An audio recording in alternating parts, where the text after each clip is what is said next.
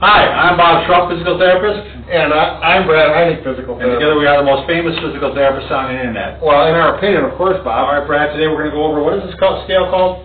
the Beighton sca- score or scale. The bite me?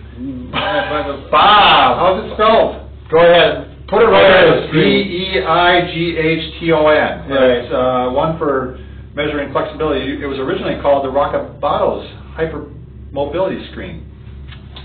By the way. So it's for hypo or Hyper. hyper, hyper mobility. Right, and it's measuring that. Right. All right, I'm gonna step out because Nancy's coming in, we're gonna measure her, right? So hypermobility means you're double jointed. A lot of people call it double jointed, and that just means you're more flexible than the average person. So we have Nancy, who is normally behind the scenes doing excellent video work for us, as you all know. She is going to, uh, she volunteered, right, Nancy? Sort of. Okay.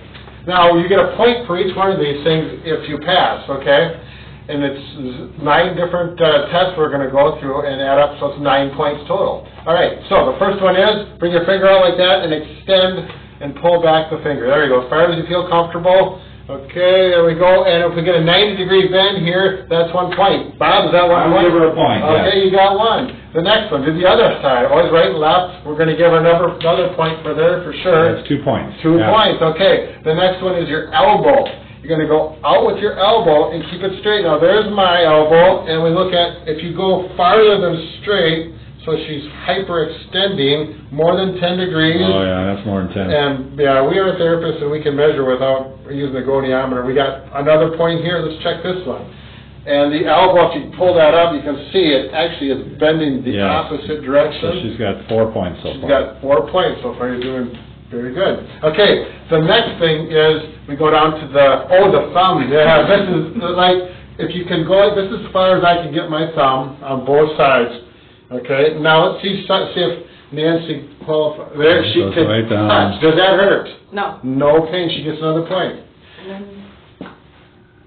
And Yeah. she touches again. All right.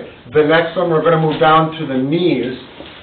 Now, let's look at this. I'm gonna pull the, this works best if you're doing it officially you would have shorts on, uh, but it's like five degrees out right now. It's the- the winter of 2015. It's minus five degrees. Five, minus five. It's all the same at this point.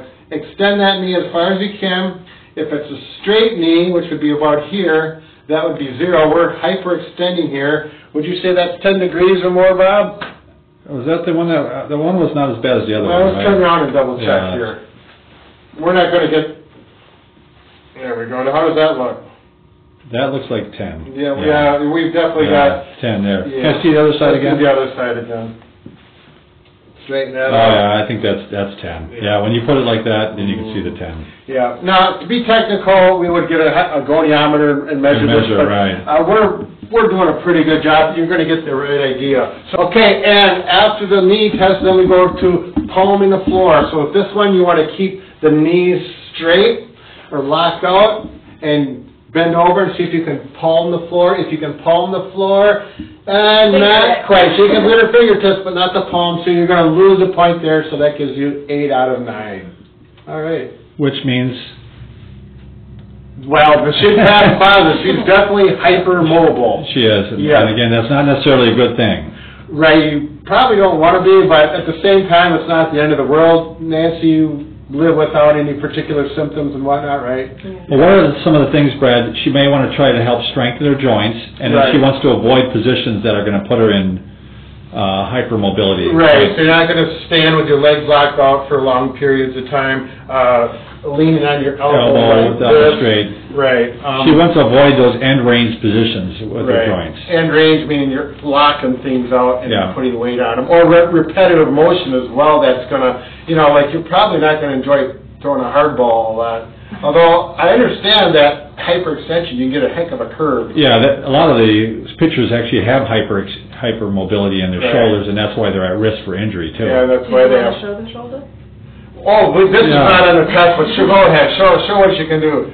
There, you know, and, and Nancy, I don't know if she wants to give her age, but she's definitely over twenty years old, and she can. Nancy, face the other way towards the wall. There you go. Look at that. Look at Wow. that. Here's mine. Uh, and Brad. Okay. Oh, just one more time so we can laugh. All right, that's funny. Brad is hypomobile, ah, I would say, working for. Tight size. He would get zero points on that scale. So, all right,